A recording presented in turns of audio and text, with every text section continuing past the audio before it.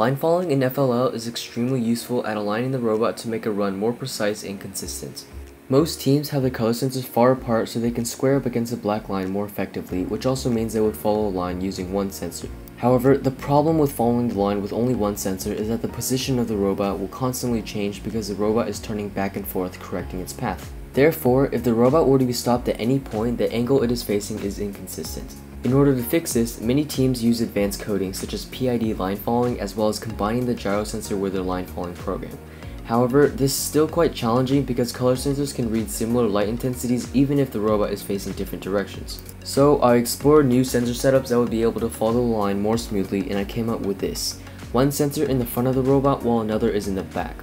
The distance between the two sensors is two studs so the sensors fit around a black line on opposite sides. Using this setup, the two sensors would both be searching for the outside of the black line as its intended path of travel. The front sensor would be the more important one following the black line, while the back sensor is there to correct the robot if it is facing too far away from the line. While experimenting with this setup, I wanted to use the simplest programming to truly test whether it was the setup that made the robot more smooth, not any advanced programming. So I created a simple proportional line follower where the front sensor contributed 90% to the robot's steering angle, while the back sensor contributed 10%.